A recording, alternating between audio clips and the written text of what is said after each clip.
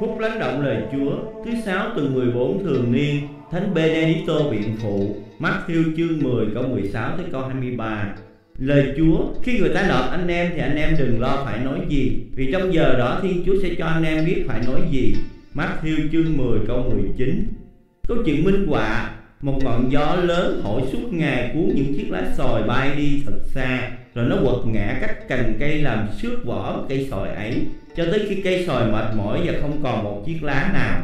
Thế nhưng cây sồi vẫn bám chặt đất, Trong khi những cây khác đều bị gió quật cho ngã rạp xuống hết. Ngọn gió mệt mỏi đành đầu hàng và nói, Cái sồi kia làm sao ngươi vẫn có thể đứng vững như thế? Cây sồi từ tốn trả lời. Tôi biết bạn có thể bẻ gãy những nhánh cây của tôi, Có thể tước từng chiếc lá của tôi và thổi chúng bay đi thật xa, Có thể làm cho những cành cây lớn rung chuyển mạnh và khiến tôi lắc lư. Nhưng tôi có những nhánh rễ vươn dài, Bám chặt vào trong lòng đất và phát triển ngày một mạnh mẽ, Kể từ khi tôi vươn mình ra khỏi mặt đất bạn không bao giờ chạm đến chúng và bạn cũng nên biết rằng chúng là phần sâu thẳm nhất của tôi. Cho đến tận hôm nay tôi vẫn không chắc rằng mình có khả năng chịu đựng tốt đến thế nào.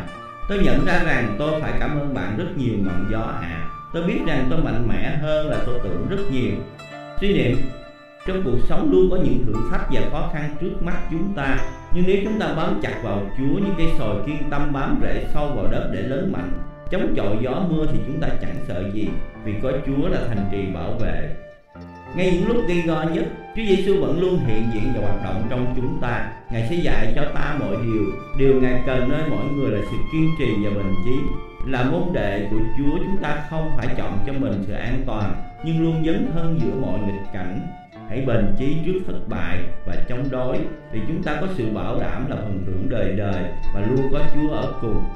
Lạy Chúa, xin cho con biết khôn ngoan tìm theo ý Chúa, Để con không còn phải sợ gì nữa.